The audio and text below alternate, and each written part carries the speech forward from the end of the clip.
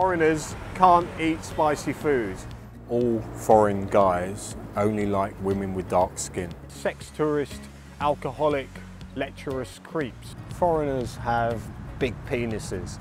All women who date foreign guys are seen as bad girls. Any foreigner who can string a sentence together in English can teach it.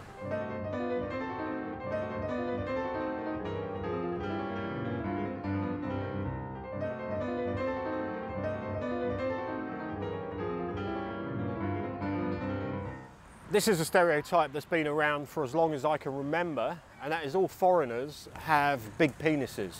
Now I'm assuming that is foreign guys, and I don't know if this one's true, but I've seen the scientific bar graphs in the media and it points towards the truth, but I don't really think it affects relationships here, although foreign men here will claim that this is the reason why women prefer foreign men. I've read a couple of amusing posts on social media where foreign guys are claiming that whenever they go and use a public toilet here, Thai guys always try and sneak a peek at their penis to see how big it is. Or maybe that public toilet is in a popular cruising spot, we don't know. Hello? Yeah? Well, that stereotype is still alive and well today? Jeez, I thought it was like out of date long time ago. Yeah, yeah, I'll tell them. Yeah, yeah, cheers. All right, bye. All right, here's a stereotype that's still going today, and that is any foreigner who can string a sentence together in English can teach it. If you're good looking, you've got a white shirt and a pulse, then you're in. Government school, language centre, and it's this kind of thing that has stagnated English teacher salaries for over 20 years here. Guys will come here, live on survival money and do whatever it takes to stay in Thailand as long as they possibly can. I think if you're looking for better paid English teaching jobs, have a degree, get yourself a PGCE and that'll open the doors to the higher salaries. I covered this in a video by the way last year.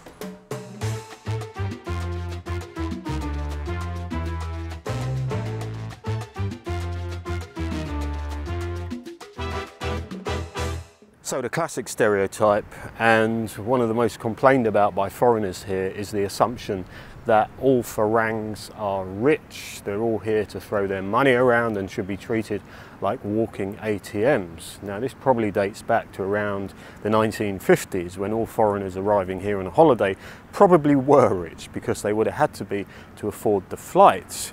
But in everyday life here, there's this undercurrent that all foreigners are rich. And I'm going to give you a few examples of that.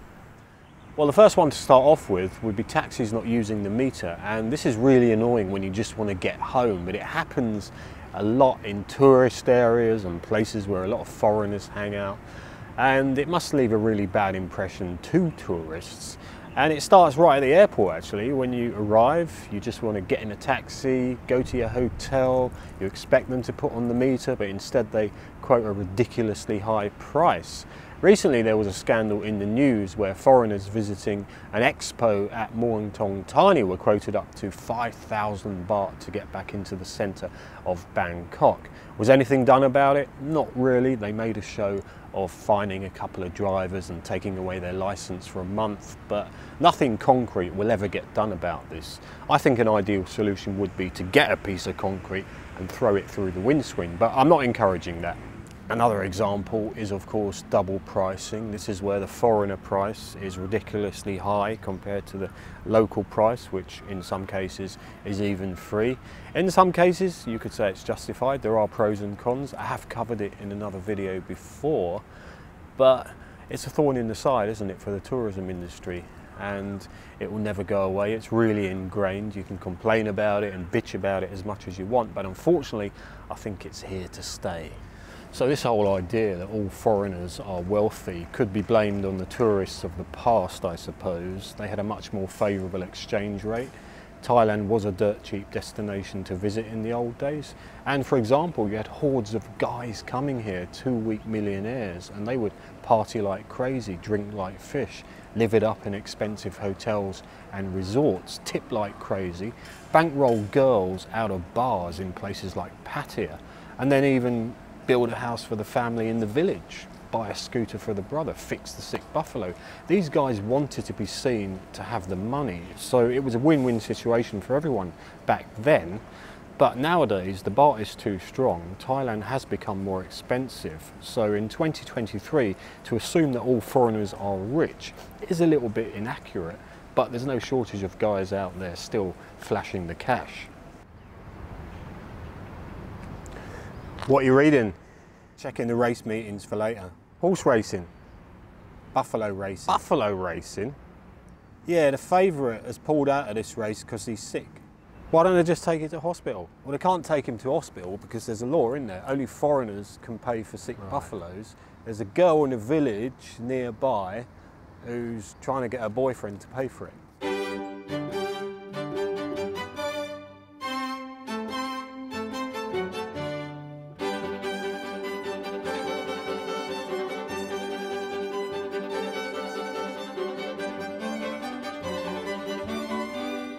This next stereotype is often discussed on Thai social media, definitely not in a nice way, trust me, and it's the foreigner who comes here and thinks he's better than all the Thais. He knows best when it comes to running the country.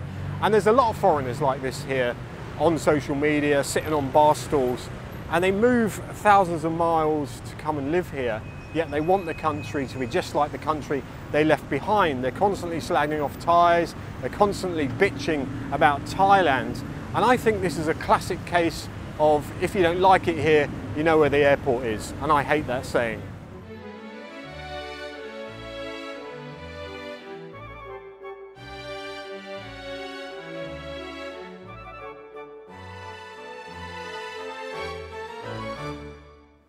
all foreign guys only like women with dark skin.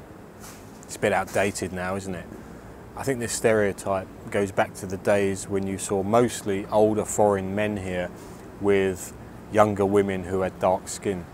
And I don't mean to be offensive here, but it was usually because they'd met them in a bar and these bars had girls working in them that were from parts of Thailand where people had darker skin. But nowadays that's changed. You see a lot of younger, good looking guys with girlfriends who have white skin with their own money, their own cars. The social tide has turned. It's a prejudice, it's a social stigma, not just in Thailand but all over Asia.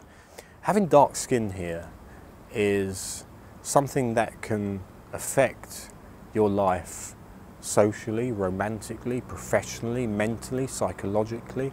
And what doesn't help is you get all these skin whitening products pushed like crazy, lotions, soaps, and the models that promote them are often really white. And much like the whole face situation, it's a bit messy, isn't it?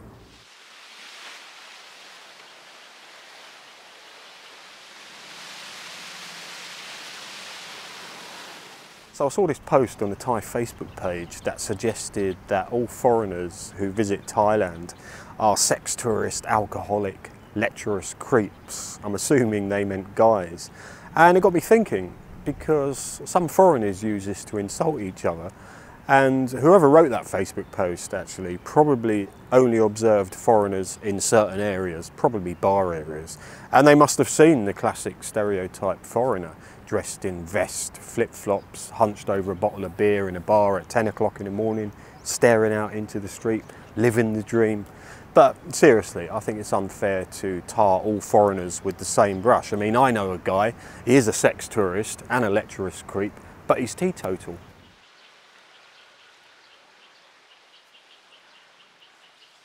So here's another stereotype that tars everyone with the same brush. And you probably heard it, all women who date foreign guys are seen as bad girls, cheap, easy, promiscuous, low class. And it's a very old fashioned conservative viewpoint that still runs through many sectors of society here today. And sometimes it's weaponized against these women to make them feel ashamed or lose face, right from getting dirty or funny looks in the street to being looked down upon at certain government offices.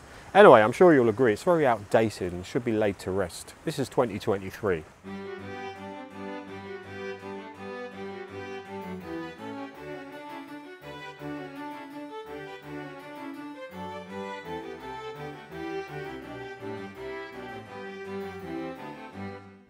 Popular assumption is foreigners can't eat spicy foods.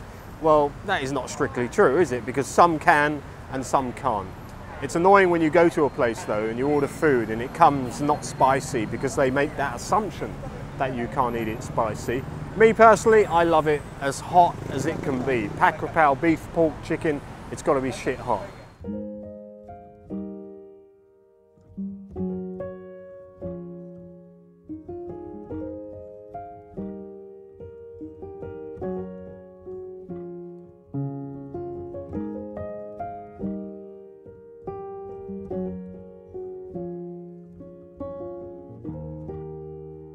Foreign guys who think they're God's gift to all Thai women. There's a lot of them out there. And I read a post on Facebook in Thai, and with a bit of help from the Translate facility, I read a few stories as well. And it was about foreign guys and their pathetic attempts to get dates with these women. It seems like there's a lot of guys out there who don't know the basic rules about getting a date with, and I hate this description actually, normal Thai women. There's a big difference between getting a so-called date with a girl from a bar and getting a date in the real world of Thailand, you know, a normal Thai woman, it's not even the same sport, let's be honest. There are guys out there with a real poor attitude to Thai women. They think they can all be bought and there's a price. And there was a story about a guy who turned up at this lady's beauty clinic and offered her a wad of cash. I mean, how embarrassing is that? I knew a French guy years ago who worked in an office here and he was convinced that he could get a date with any of these women in that office by using his exaggerated, sexy French accent. He didn't last very long there. He didn't tell me why he left actually. I think he was fired for some disciplinary reason. But uh, I don't think I need to tell you any more stories. I'm sure there were places around here where guys are actually God's gift. But uh, I think you get the picture.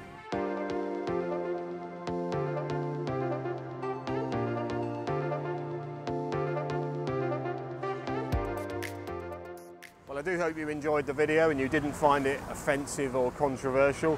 Please consider subscribing if you haven't already done so. Like, share, leave a comment. If you want to support me and support the channel, you can do so via the Buy Me a Coffee link on the screen, or you can join the channel and become a member. That just leaves me to say thanks for watching, and I'll see you soon.